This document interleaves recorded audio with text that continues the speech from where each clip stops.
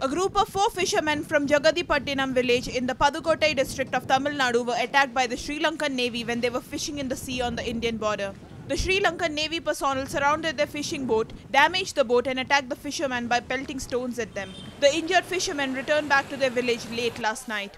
When asked about the incident, one of the fishermen, Ashokan, said that he had sustained head injuries when the Sri Lankan Navy personnel attacked them. Ashokan has been admitted to the Government General Hospital for treatment. கடலுக்கு மீன் பிடிக்கணும்